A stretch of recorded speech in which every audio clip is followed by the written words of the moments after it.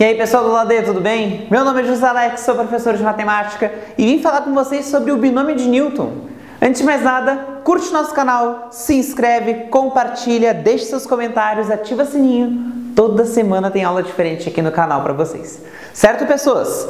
Olha, olha aqui comigo então. Quem não viu a aula passada, dá uma olhadinha na aula anterior que fala sobre o triângulo de Pascal e os números binomiais. Porque aqui eu vou estar aplicando aquele conteúdo que é a fórmula do binômio de Newton. A fórmula do binômio de Newton às vezes assusta o pessoal, mas eu gosto assim de deixar ela aberta para vocês verem como que ela é desenvolvida. Binômio é uma coisa que a gente já sabe o que, que é. Né? São, é, são dois monômios que formam um binômio, certo? Eu vou chamar então o primeiro aqui de x, o segundo de a e o expoente de n. Muito importante a gente saber essas nomenclaturas. O que, que acontece? Quando eu vou abrir esse binômio, vou desenvolver, é o termo que a gente usa, desenvolver. Quando eu vou desenvolver o binômio, eu sempre começo então, em cima, o número binomial vai ser sempre um expoente. E eu sempre começo com um zero. Então, meu primeiro número binomial é esse, que vai multiplicar o segundo termo elevado na zero porque é igual a esse número que está aqui, ó, vezes o primeiro termo elevado ao número que está aqui. Esse é o primeiro termo, ó. quero que vocês vejam isso aqui bem claro. Primeiro termo, tá? Olha o segundo termo, que é esse, ó, entre eles tem os sinaizinhos de mais, ó, mais. Aí eu vou formando os meus termos. Olha o que acontece aqui. O termo, o expoente continua, só que agora de zero foi para 1. Um, certo? Vezes o segundo termo. Como não tem expoente, a gente tem que lembrar que o expoente aqui é 1. Um, ó. Por quê? Porque o número aqui de baixo é 1. Um, certo? Vezes o primeiro termo elevado na n menos 1. Aqui, por que, que tu não botou n menos 0? Porque n menos 0 dá n, né? Por isso que eu não botei. Só que agora aqui, ó, n menos 1. Olha, olha o, esse é o segundo termo. Olha o terceiro termo, o que, que acontece com ele? n de 2, que é o expoente na 2, ele estava em 1, foi para 2, vezes o a, que é o segundo termo, elevado na 2, porque aqui é 2, vezes o x, que é o primeiro termo, elevado na n menos 2. E galera, assim vai.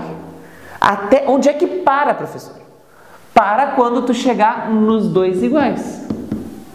E aí vai ficar vezes o a elevado no de baixo, vezes o x na zero, que o último termo daí é x na zero. Aí acabou. Sobre que tamanho vai ficar esse meu binômio? Tudo vai depender, tudo vai depender do teu expoente. Nesse caso que eu vou desenvolver com vocês, o meu expoente é 4. Mas galera pode ter expoente maior, enfim, casos à parte certo? Então vamos desenvolver esse binômio através da aplicação dessa fórmula que eu fiz aqui com vocês, tá bom? Bom, se eu sei que o meu expoente é 4, na hora que eu for desenvolver o binômio, vai ficar assim, ó.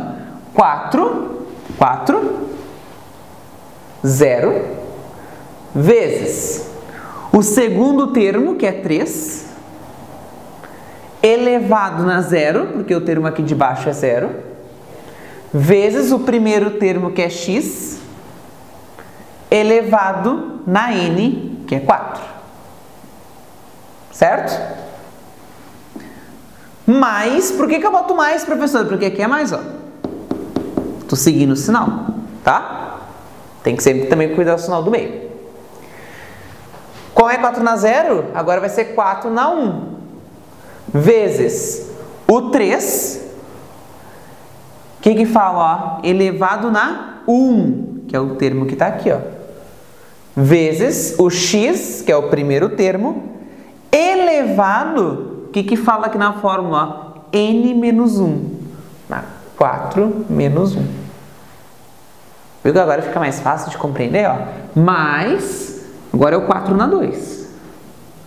4 na 2 vezes o 3 o, se aqui era 1, agora vai ser 2. Vezes o x, 4 menos 1, aqui é 4 menos 2. Mais, se é 4 na 2, agora vai para 4 na 3. Vezes o 3 elevado na 3, vezes o x elevado na 4 menos 3. Mais, porque não vai caber, eu tenho que pôr aqui desse outro lado. 4 na 3 agora é 4 na 4, o último termo. Porque quando repete, é porque acabou. Né? Deixa eu dar uma arrumadinha que ficou torto. Aí vai ficar então 4 na 4. Vezes o 3 elevado na 4, vezes o x na 4 menos 4. Certo? Botar um sinalzinho de igual. É tipo uma expressãozinha numérica. Agora eu vou resolver. Número, número binomial. Para eu resolver os números binomiais, eu tenho que lembrar do triângulo de Pascal. Lembra que eu pedi para vocês desenvolverem lá o triângulo de Pascal? Então, olha só, eu estou aqui na linha 4. Eu não vou desenvolver todo o binômio até o, até o 10, por exemplo. Eu vou desenvolver até a linha 4 para saber quais são os valores dos meus binômios, para depois só substituir. Se eu fizer aqui ligeirinho, ó, vai ficar 1, 1, 1, 1, 2, 1, 1, 2 mais 1, 3, 2 mais 1, 3, 1, 1 mais 3, 4, 3 mais 3, 6, 3 mais 1, 4 e 1. Claro que não ficou meio torto ali, né? Quem não, ó, isso aqui continua. Ah, senhor, não estou entendendo o que tu está fazendo. Dá uma olhada no vídeo anterior que eu ensino como construir um binômio, um triângulo de Pascal, tá? Por que, que eu fiz até essa linha? Porque a linha que me interessa é a linha do 4. 0, 1, 2, 3, 4. É essa linha que me interessa. Porque é ela que eu vou substituir nos meus, nos meus números binomiais. 4 na 0 é 1. Então, eu vou colocar aqui, ó, 1 vezes 3 na 0, que dá 1, vezes x na 4. Mais 4 na 1, 4, olhando no meu triângulo de Pascal, 4, vezes 3 na 1, 3, vezes x na 4 menos 1, que dá x ao cubo mais número binomial 4 por 2, 6, vezes 3 ao quadrado, 9, vezes x na 4 menos 2, que dá x ao quadrado, mais 4 por 3, ó, 4, vezes 3 ao cubo, 27, vezes x na 4 menos 3. x na 1. O 1 nem precisa aparecer, eu vou pôr, mas ele não aparece. Mais 4 na 4, é o último termo, 1, vezes 3 elevado na 4, 81, vezes x elevado na 4 menos 4, que dá zero. Feito isso, junto tudo, para ver como é que vai ficar o binômio. Esse primeiro termo, 1 vezes 1 vezes x na 4. 1 vezes 1 é 1. O que me sobra nesse primeiro termo é só o x na 4. O 1 não precisa aparecer na frente. Fechou. Mais o segundo termo, que é esse daqui, ó. 4 vezes 3, 12. x ao cubo. Mais esse termo aqui, ó, 6 vezes 9, 54, x ao quadrado. Mais este termo aqui, ó, 4 vezes 27. Vamos fazer aqui, ó, 27 vezes 4. 4 vezes 7, 28. 2 sobe, 8, 9, 10, 108. 108x. Não precisa o 1 lá em cima, né? Mais 1 vezes 81, 81.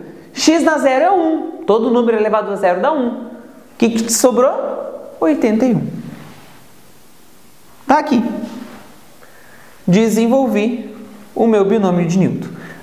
O desenvolvimento disso fica dessa maneira. Certo? Então tá uma aplicação do carinha aí do binômio de Newton do triângulo de Pascal. Espero que tenham entendido, espero que tenham gostado. Dúvidas e comentários deixem aí abaixo. Muito obrigado, abraços e valeu!